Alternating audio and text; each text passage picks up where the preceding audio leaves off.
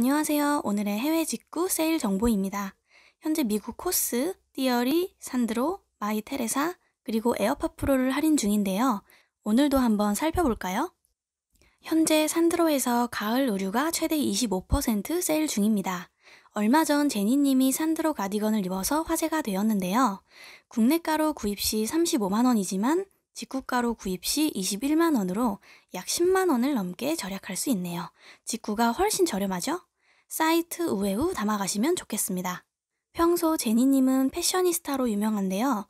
좀 더 저렴한 제니님의 착장을 찾고 계신다면 이탈리아 브랜드 멜빌의 니트 가디건을 6만원대에 최저가로 판매 중입니다. 브랜드 멜빌은 직구가 어려워 구매 대행으로 이용하셔야 합니다. 참고해주세요.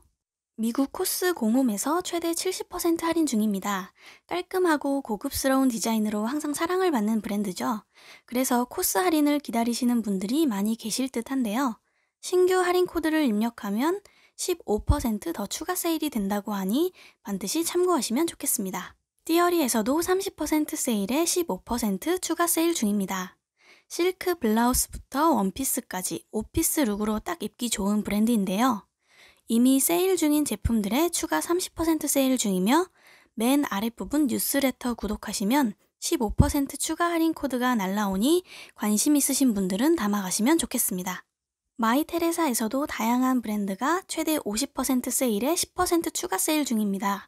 최근 신민아 김나영, 이한희 님이 로저 비비의 스니커즈를 신고 나오셨는데요. 국내가로 구입 시 151만원이지만 직구가로 구입 시 125만 원이네요. 현재 대박 세일 진행 중입니다. 또한 eBay에서 리퍼 제품을 15% 추가 세일을 진행하고 있습니다. 그래서 AirPods Pro를 229불에 구입 가능한데요. 직구가로 구입 시 좀 더 저렴하고 AirPods 외에도 많은 제품들이 있으니 참고하시고 좋은 제품들 담아가시면 좋겠네요. 오늘도 가볍게 보는 세일 정보였습니다. 더 자세한 정보나 구매를 원하신다면 아래 더보기란을 참고해주세요.